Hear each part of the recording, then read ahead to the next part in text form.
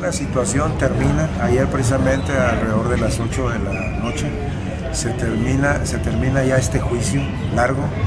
alrededor de un año, tres meses. Eh, el, término de este caso eh, infiere en un acuerdo reparatorio. Un acuerdo reparatorio se le entrega la cantidad que el Ministerio Público estaba exigiendo como reparación del daño, que pretendió y que, y que se llega a ese, a ese acuerdo se retiran los cargos que había de demandas en contra de Juan Tarango, denuncias, perdón, en contra de Juan Tarango por daños a los vehículos que ocasionó cuando este, se realizó, cuando se, bueno, cuando pasó el accidente en, en el año pasado, en julio así que específicamente, eh, los, daños, los daños físicos que recibió la señora María Castillo también otorga el perdón amplio. Los procesados de Noel Garreta también otorga perdón amplio hacia Juan Tarango. Parte, parte de esto de, del acuerdo reparatorio que se llegaron en común las, las, dos partes, lo que es la defensa y, el Ministerio Público. Entonces,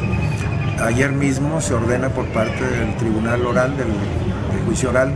se ordena el levantamiento de las medidas cautelares que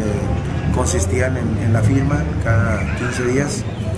y en no salir del Estado. Entonces, este acuerdo se llega precisamente por parte de la defensa para evitar un juicio demasiado largo, con un consabido desgaste económico, físico,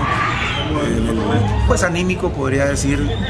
porque se esperaba que llevando a cabo los procesos que estuviesen pendientes, que era este, una casación y que posiblemente tuviéramos que, haber, que llegar en, su tiempo específico a, a, un, amparo, a una demanda de amparo, estamos hablando de un término,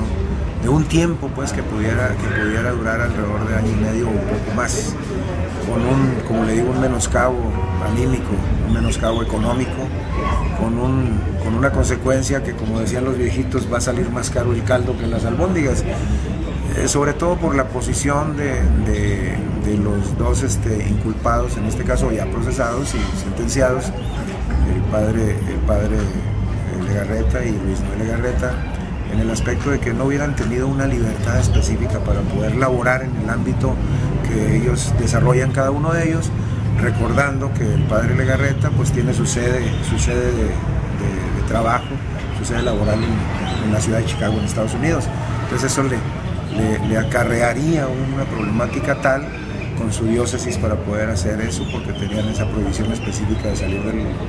del Estado y del país por consecuencia. Entonces es algo bastante problemático, por lo cual se decidió, independientemente de, de, de, de, pelear o no pelear ya por una inocencia, por, un,